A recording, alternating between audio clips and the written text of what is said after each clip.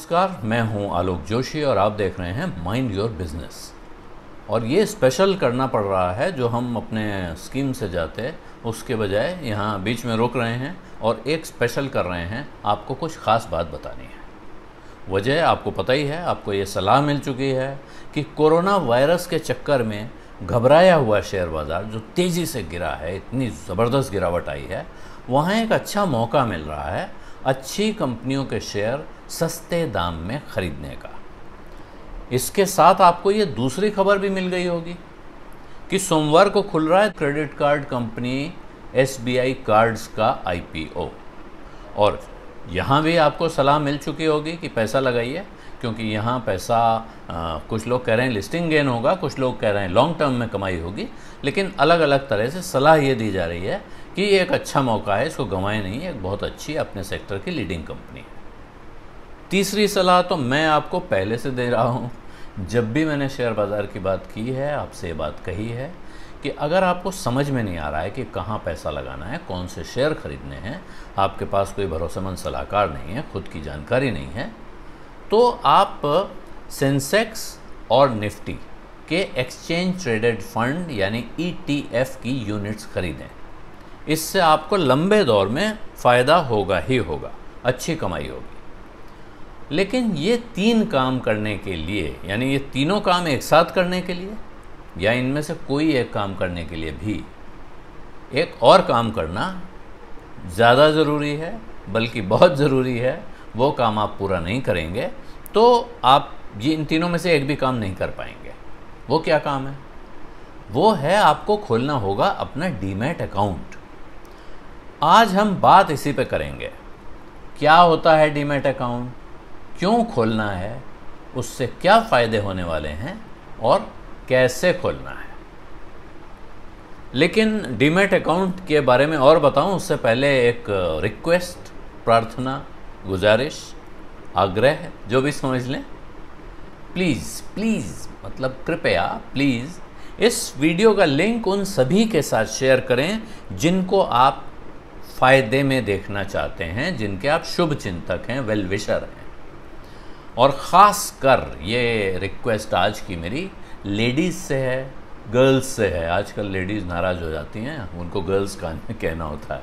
और जो गर्ल्स हैं, वो तो गर्ल्स हैं ही। तो लेडीज़ या गर्ल्स आप ख़ुद भी इस वीडियो को बहुत ध्यान से देख लें और इसका लिंक भी आगे बढ़ा दें। और दूसरा और ज़रूरी काम है, वो बहुत ज़रूरी है। याद रखिए नोट कर लीजिए। One Alok Joshi.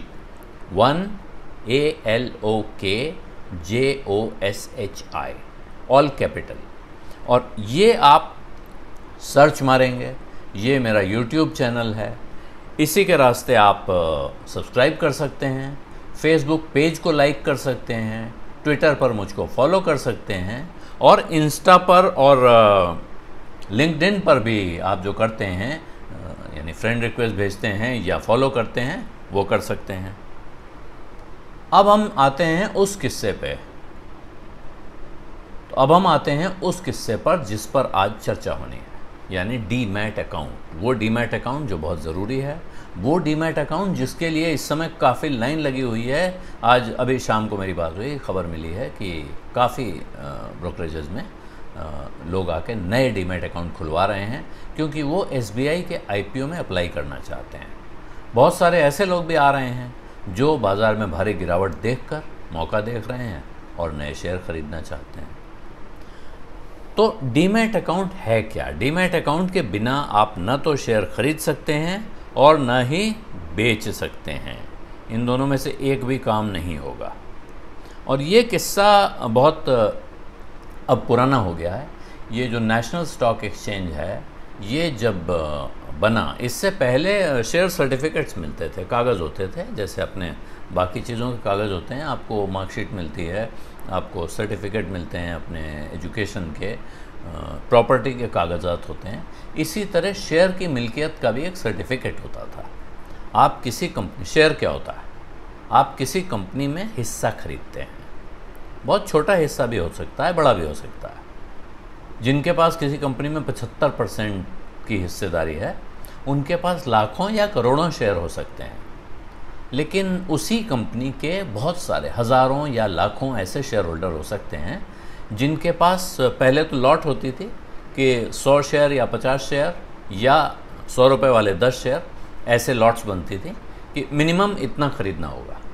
अब जब से ये नया सिस्टम आया है, जिसके बारे में अब मैं बताने जा रहा हूँ आपको तब से आप किसी कंपनी का एक शेयर भी खरीद सकते हैं, दो शेयर भी खरीद सकते हैं। जितने पैसे आपके पास हैं, उतने खरीद लीजिए। और कई लोग ऐसे धीरे धीरे धीरे एक एक दो दो शेयर करते हुए अच्छे भले पैसे वाले, अच्छे पोर्टफोलियो के मालिक बन गए। तो ये जो शेयर सर्टिफिकेट होते थे, इनके साथ बड़ी समस्याएँ थी। अगर आपको ख़रीदना है तो आप पैसा जमा करते थे अपने ब्रोकर के पास वो आपका पैसा दूसरे ब्रोकर के पास भेजता था, अपने जो प्रिंसिपल ब्रोकर होता है, क्योंकि आप किसी छोटे से, अगर मुंबई में रहते हैं, दिल्ली में रहते हैं तो यहाँ बड़े बड़े ब्रोकर थे, आप उनमें से किसी के ग्राहक हैं तो उनके पास जाइए और वो आपकी ख़रीद बिक्री कर लेते थे। लेकिन अगर आप छोटे शहर में रहते हैं, वो अपने प्रिंसिपल के पास भेजेंगे। दूसरी तरफ़ से जो जिसने बेचा है, वो भी अपना शेयर वहाँ भेजेगा। ये दोनों एक्सचेंज में आकर उनका लेन देन करेंगे। वहाँ क्लियरिंग हाउस में उसका लेन देन होता था। और इसके बाद वो पैसा उस आदमी के खाते में जाएगा शेयर आपके पास आएँगे। इसमें छः सात दिन का समय लगना मामूली बात थी। और इसके बाद उस शेयर सर्टिफिकेट के साथ एक ट्रांसफ़र डीड आती थी, जिस पर सेलर का सिग्नेचर होता था। और उसको आप ट्रांसफ़र डीड पे अपने सिग्नेचर करके, अपना नाम पता भर के फिर कंपनी के रजिस्ट्रार के पास भेजते थे। और रजिस्ट्रार इसको ट्रांसफ़र करने के बाद शेयर सर्टिफिकेट के पीछे आपके नाम लिखने के बाद मोहर लगाता था और फिर वो आपके पास आते थे, जिसके बाद आप उस शेयर के मालिक इस्टेब्लिश होते थे। पक्का होता था कि आप इस शेयर के मालिक हैं और अब आप इसे बेच सकते हैं। कब मोटे तौर पर इसमें आपको तीन हफ़्ते के आसपास का वक्त लग जाता था कभी कभी डेढ़ महीने भी लग जाते थे और कभी यहाँ से वहाँ आने जाने में पता चलता था कि शेयर गायब हो गया। खो गया। कभी ऐसा भी होता था कि घरों में लोगों ने शेयर खरीदे, किसी बुज़ुर्ग ने खरीदे, अपने बक्से में नीचे दबा दिए, घर में किसी को बताया नहीं। उनके जाने के बाद कभी कभार तो पता चल जाता था और कभी किसी ने वो बक्सा वैसे ही ठिकाने लगा दिया तो फिर वो शेयर सर्टिफिकेट कबाड़ी के हाथ लगते थे। वहाँ से वो उसका जो करे, क्योंकि सर्टिफिकेट जिसके हाथ में है, वो पीछे दस्तखत वगैरह करके एफिडेविट लगा के उसका वारा न्यारा कर सकता था। लेकिन अब जो सिस्टम है नया, जो ऑनलाइन ट्रेडिंग सिस्टम है, जो नेशनल स्टॉक एक्सचेंज और NSDL national stock depository limited एक कंपनी है, जो क्या काम करती है कि हमारे आपके जितने शेयर हैं, वो सर्टिफिकेट जमा कर लेती है, उसके पास एक अकाउंट है, वो इन सर्टिफिकेट्स को डीमटेरियलाइज कर देती है। डीमटेरियलाइज का हिंदी में सीधा अर्थ है कि अब वो भौतिक रूप में नहीं रह जाते हैं। तो, तो वो एक सॉफ्ट स्वरूप सॉफ्ट कॉपी हो जाती है। सिस्टम में एंट्री हो गई है उनकी और आपको उसके बदले में एक रसीद मिल जाती है। आपको एक स्टेटमेंट मिलता है और अगर आपको वो शेयर बेचना है तो आप पहले ये होता था एक स्लिप है वो स्लिप भर के आप दे देंगे बायर को। वो बायर अपनी स्लिप अपने डिपॉजिटरी पार्टिसिपेंट को दिखाएगा और वहाँ उसको उसके अकाउंट में, इस अकाउंट से, आपके अकाउंट से, उसके अकाउंट में शेयर चले जाएँगे। आपको लेन देन नहीं करना है, आपको जाकर एक्सचेंज नहीं करना है, इधर शेयर गए, उधर पैसा आया। आजकल ये काम दो दिन में हो जाता है। जैसे जैसे एक्सचेंज एडवांस हो रहे हैं, ये बहुत तेज़ी से होता जा रहा है। ये सिस्टम दरअसल छोटे निवेशकों के लिए, हमारे जैसे लोगों के लिए बहुत फ़ायदेमंद है। तो ये रहा डीमेट का फ़ायदा। और अभी मैंने आपको शेयर के बारे में जो कुछ बताया, ये सब अभी आगे दुनिया के और बहुत सी चीज़ों पर लागू होने जा रहा है।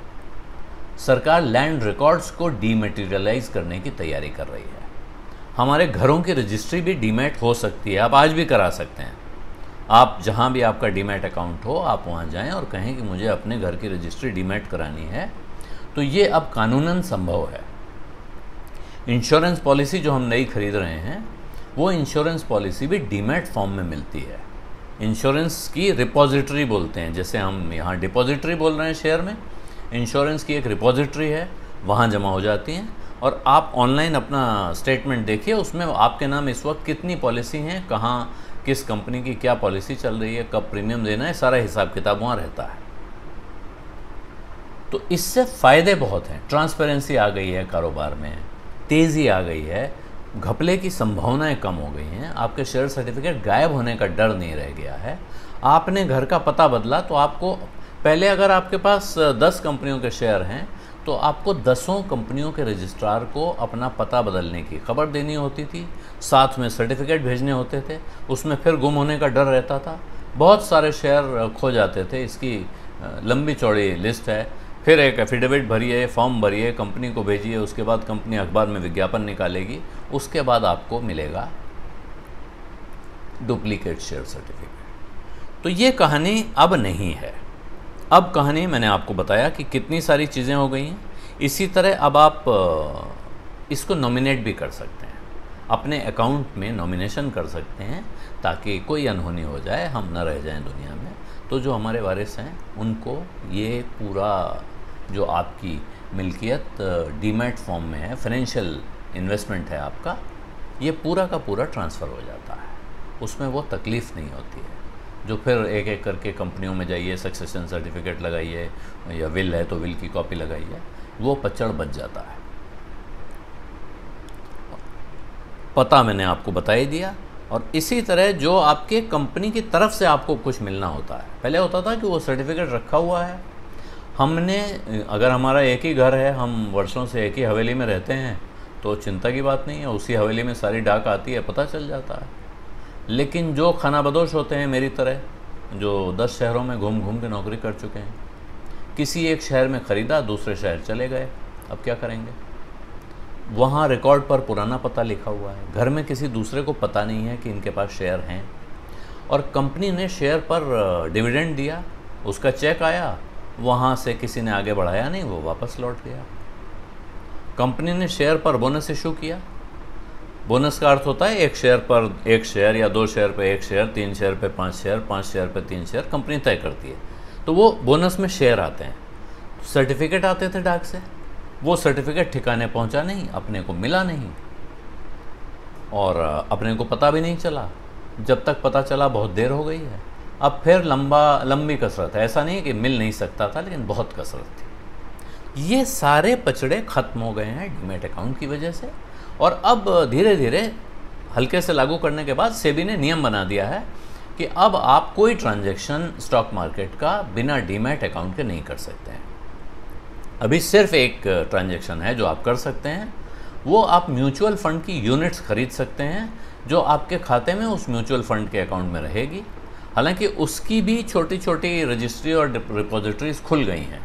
कुछ ऐसे रजिस्ट्रार्स ने बना लिया है, जहाँ आप एक साथ आठ कंपनियों में, दस कंपनियों में इन्वेस्ट कर सकते हैं और उन कंपनियों के हिसाब आपके अकाउंट में दिखते रहेंगे। तो वो भी फिर आपको सिंगल टच हो गया। आगे का रास्ता यही है, भविष्य यही होगा। आप अपने ही डीमेट अकाउंट से म्यूचुअल फंड यूनिट्स भी खरीद पाएँगे। लेकिन फ़िलहाल आज नहीं है तो आज जाने दें उसे। अब प्रश्न यह है कि जो बेनिफिशियरी अमाउंट है बेनिफिशियरी अकाउंट बेनिफिशियरी अकाउंट का अर्थ है जो मेरा या आपका। जो ग्राहक का अकाउंट है, उसको बेनिफिशियरी अकाउंट बोलते हैं डिपॉजिटरी में। इसका, इसकी टर्मिनोलॉजी समझिए। दो डिपॉजिटरी हैं, बड़ी। भारत सरकार की तरफ़ से इनको हरी झंडी दी गई, उसके बाद उनको लॉन्च किया गया है। एक है एनएसडीएल जो सबसे बड़ा इस वक्त का डिपॉजिटरी है।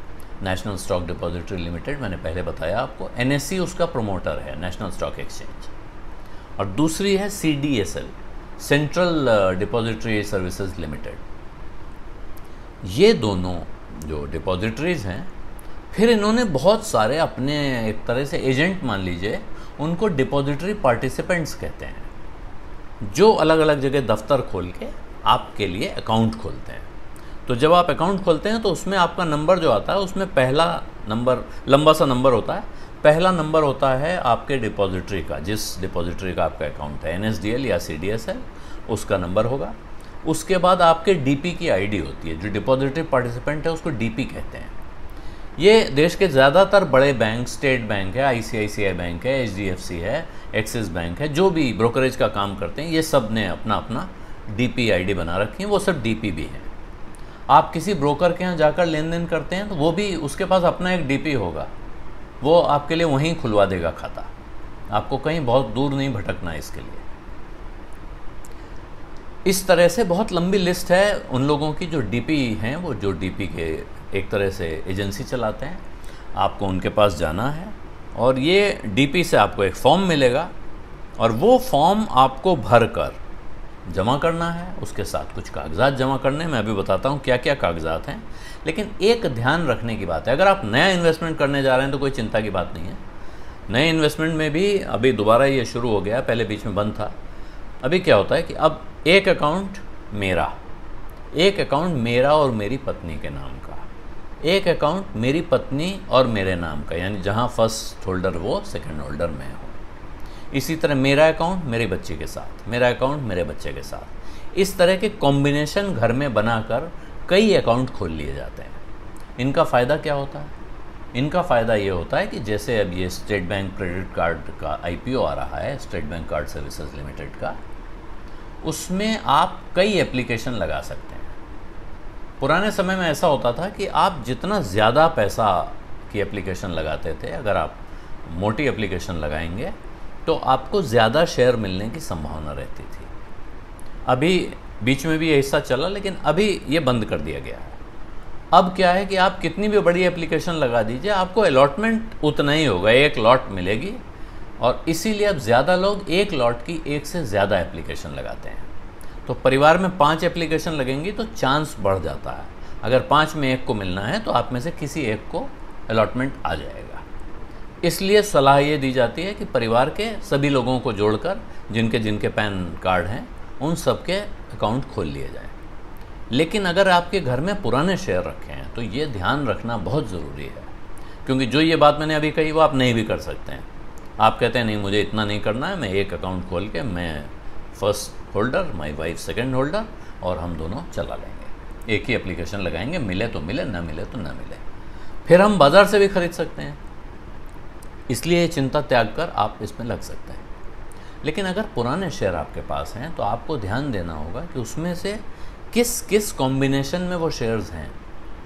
कि पिता और पुत्र के नाम हस्बैंड और वाइफ के नाम, पिता और पुत्री के नाम, पत्नी और पति के नाम ये इस तरह के कॉम्बिनेशंस में, जितने भी कॉम्बिनेशंस में आपके पास शेयर हैं, उतने अकाउंट आपको खोलने पड़ेंगे। फिर ऐसा नहीं होगा कि आपने एक अकाउंट खोल लिया और उसमें तरह तरह और वो उसी कॉम्बिनेशन में वो अकाउंट खुलेगा। एक सुविधा दे दी गई है। एक सुविधा इधर दे दी गई है कि अगर मान लीजिए मेरा नाम फ़र्स्ट है अकाउंट में और मेरी पत्नी का नाम सेकंड है और एक शेयर सर्टिफिकेट हमारे पास ऐसा है जिसमें पत्नी का नाम पहले आता है, मेरा नाम बाद में आता है तो मैं एक फॉर्म भर कर एक फॉर्म है उसके लिए स्पेशल उस पर हम दोनों लोग साइन करेंगे और वो शेयर भी मेरे अकाउंट में डीमेटेरियलाइज हो जाएगा। यानी वो जो फ़िज़िकल सर्टिफिकेट है, वो गायब हो जाएगा और उसकी जगह एक वर्चुअल शेयर मेरे अकाउंट में आ जाएगा। ये सुविधा नहीं दी गई है। तो अब आपको करना क्या है? आपको अपना एक डीपी चुनना है।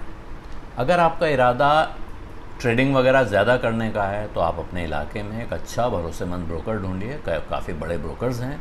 ऑनलाइन ब्रोकरेजेज हैं, जैसे मैंने ज़िक्र किया आई डायरेक्ट है एक्सिस डायरेक्ट है एचडीएफसी का ब्रोकरेज है कोटक का ब्रोकरेज है।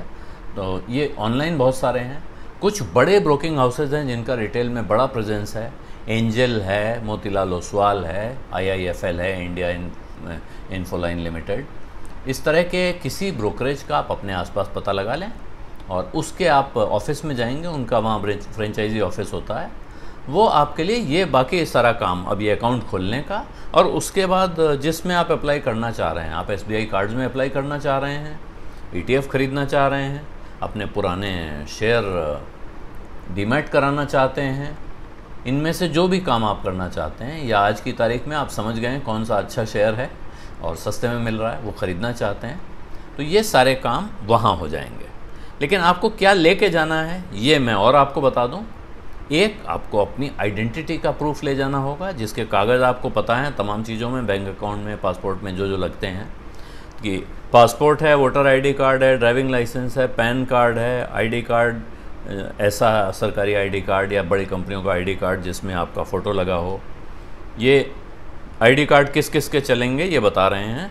सेंट्रल या स्टेट गवर्नमेंट और उनके डिपार्टमेंट स्टैट्यूटरी या रेगुलेटरी अथॉरिटीज़ जैसे आरबीआई है सेबी है, इस तरह के किसी अथॉरिटी के, आप अपने इलाके में डेवलपमेंट अथॉरिटी के एम्प्लॉई हैं तो वो चलेगा। शेड्यूल्ड कमर्शियल बैंक्स बैंक का आईडी कार्ड चलेगा। सरकारी कंपनियों में आप काम करते हैं पब्लिक सेक्टर अंडरटेकिंग तो उनका कार्ड चलेगा। पब्लिक फाइनेंशियल इंस्टीट्यूशंस जो एल टाइप के जो इंस्टीट्यूशंस हैं, इनका कार्ड चलेगा। कॉलेजेस एफिलिएटेड टू यूनिवर्सिटीज़ लेकिन ये जो कॉलेज का आईडी कार्ड है, ये तभी चलेगा जब तक वो होल्डर जो है वो स्टूडेंट है, छात्र है। ऐसा नहीं होगा कि आप छात्र तो थे और कार्ड पुराना है, अब आप नौकरी करने लगे हैं या नहीं भी कर रहे हैं कॉलेज में पढ़ते नहीं हैं और इस वक्त आप वो कार्ड इस्तेमाल करना चाहें तो नहीं चलेगा। इसके अलावा आईसीएआई है आईसीडब्ल्यूएआई है आईसीएसआई है, बार काउंसिल है वकीलों के मामले में, इनकी तरफ़ से जो उनके कार्ड इशू होते हैं, वो चलेंगे। और बैंकों ने जो क्रेडिट कार्ड या डेबिट कार्ड इशू किए होते हैं, उनको भी मान लिया जाएगा। वो फ़ोटो वाले होते हैं, आपने अगर ध्यान दिया हो फ़ोटो वाले कार्ड जो हैं, उनको भी मान लिया जाएगा। इसके अलावा आपको एक दूसरा सबूत लगाना है, वो है प्रूफ ऑफ़ एड्रेस अगर आपके पुराने डॉक्यूमेंट में, जैसे आपने आधार कार्ड लगा दिया तो आईडी और प्रूफ ऑफ़ एड्रेस दोनों मान लिया जाता है। लेकिन उसके अलावा आप ration card, passport, voter ID, driving licence, bank passbook, जिसमें बैंक पासबुक इलेक्ट्रिसिटी बिल का वेरीफाइड कॉपी, ताज़ा इलेक्ट्रिसिटी बिल हो। इस तरह के तमाम डॉक्यूमेंट हैं, आप इस बात को समझते हैं कि किस तरह के डॉक्यूमेंट लगेंगे। इसके अलावा आपको पासपोर्ट साइज़ की फ़ोटो लगेंगी, और सुझाव मेरा ये है कि तीन फ़ोटो लेके जाइए कम से कम। अगर एक ही लगे तो दो वापस ले आइएगा, उससे कोई नुकसान नहीं है, वहाँ कम पड़ेगी तो मुश्किल होगी। पैन कार्ड की एक कॉपी। पैन कार्ड की आप एक फ़ोटो कॉपी करा लें और उस पर खुद ही साइन कर दें और कभी भी आप किसी डॉक्यूमेंट की कॉपी सबमिट कर रहे हैं तो एक चीज़ का ध्यान रखिए कि उस डॉक्यूमेंट के फेस को क्रॉस करिए। उसमें जिस जगह पर आपका पैन कार्ड का फ़ोटो आ रहा है कागज़ पे, उसके दाएँ बाएँ नहीं, उसी को दो लाइन से क्रॉस करिए और उसमें लिखिए for D P account for N S D L D P account या for C D S L D P account उसके बाद अपना साइन करिए। इससे लाभ ये होगा कि वो कागज़, वही डॉक्यूमेंट कोई और आदमी ज़ेरॉक्स कराकर फ़ोटो कॉपी कराकर किसी दूसरी चीज़ में एप्लीकेशन लगाने के लिए इस्तेमाल नहीं कर पाएगा। बहुत से आपने सुने होंगे कि लोग क्रेडिट कार्ड के आपकी तरफ़ से पचास जगह एप्लीकेशन लगा देते हैं क्योंकि उनको हर एप्लीकेशन का पैसा मिलता है। लेकिन इसमें आपका डेटा जा रहा है। आपकी जानकारी जगह जगह शेयर हो रही है। उससे बचने का तरीका है कि आप अपने डॉक्यूमेंट जब भी किसी को दें अटेस्ट करके वहाँ पर ये साफ़ साफ़ लिख दें कि ये किस चीज़ के लिए दिया जा रहा है, ताकि वो किसी और चीज़ के लिए इस्तेमाल ना हो सके। अब जब ये होगा, इसके अलावा आपके डीपी कुछ एक आध और चीज़ मांग सकते हैं। कभी कभी शक होने पर कहते हैं, भाई, ये नहीं, एक डॉक्यूमेंट और दीजिए। लेकिन आम तौर पे ऐसा होता नहीं है। इसके बाद डीपी आपको एक एग्रीमेंट दिखाएँगे, आपके और उनके बीच में एक एग्रीमेंट होगा, उसको आप साइन करेंगे। और इसके बाद जो बाकी कागज़ डिटेल हैं आपके, इसमें कोई ख़ास ऐसी बात नहीं है कि क्या क्या डॉक्यूमेंट देने हैं, वो डॉक्यूमेंट देंगे। एक स्टैंडिंग इंस्ट्रक्शन की फैसिलिटी है जिसमें आप ये उनको स्टैंडिंग इंस्ट्रक्शन दे सकते हैं कि हर बार मैं आपको कोई इंस्ट्रक्शन नहीं दूँगा, लेकिन अगर मेरे नाम पर कोई शेयर ट्रांसफ़र कर रही है कंपनी नई कंपनी ने इशू किए हैं, मेरा आईपीओ आया है या मैंने ब्रोकरेज से ख़रीदा है और वो मेरे शेयर यहाँ भेज रहा है तो आप उन्हें बिना मेरे इंडिविजुअल क्लियरेंस के हर बार मुझसे उसकी मैं एप्लीकेशन नहीं लगाऊँगा कि ये वाले रिसीव कर लीजिए। मेरे नाम पे आने वाले सारे शेयर आप रिसीव कर लिया करिए। इस तरह का एक इंस्ट्रक्शन आप उनको दे सकते हैं। इसके बाद अगर सब कुछ ठीक है तो आपको डीपी आपका अकाउंट खोलने के लिए आपको एक रसीद दे देंगे एक्नॉलेजमेंट स्लिप दे देंगे। और ये एक्नॉलेजमेंट स्लिप उस दिन काम आ जाती है। जैसे आपको अप्लाई करना है नए शेयर इशू में अकाउंट तो नहीं खुला है, लेकिन वो स्लिप जो आई है, उसमें एक नंबर होगा, वो भरकर आप नए इशू में अप्लाई कर सकते हैं। आप शेयर ख़रीद भी सकते हैं, क्योंकि शेयर ख़रीदने के लिए आपको ट्रेडिंग अकाउंट भी खोलना पड़ेगा।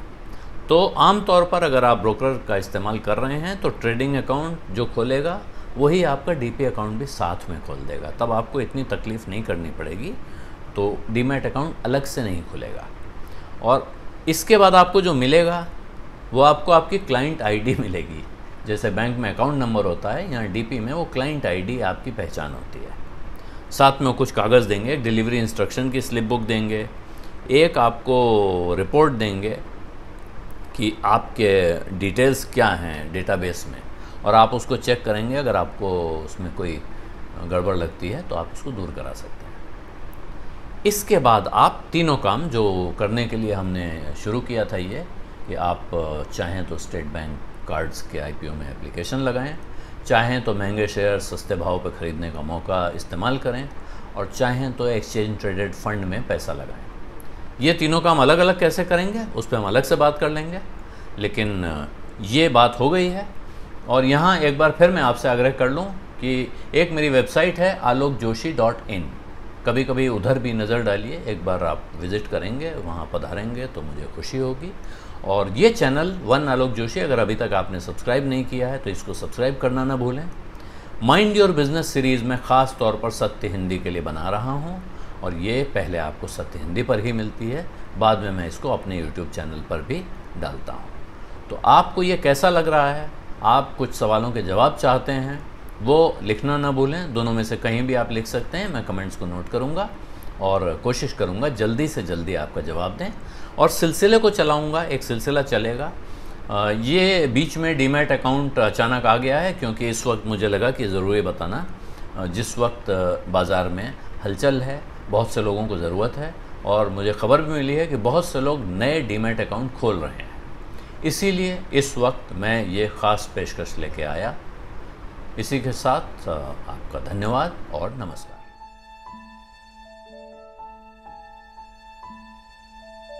सत्य हिंदी के और वीडियोस को देखने के लिए हमारे YouTube चैनल को सब्सक्राइब करें और सीधे नोटिफिकेशन पाने के लिए बेल आइकन दबाएँ।